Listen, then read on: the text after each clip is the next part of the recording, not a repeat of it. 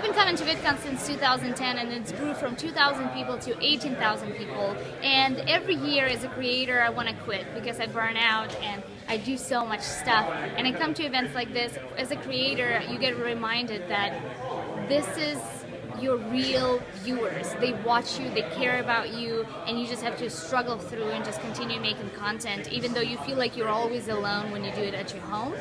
And as far as create uh, smaller creators that are starting out or fans, uh, it's important they come here, they make lots of friends, they get inspired, and they become the future YouTube stars.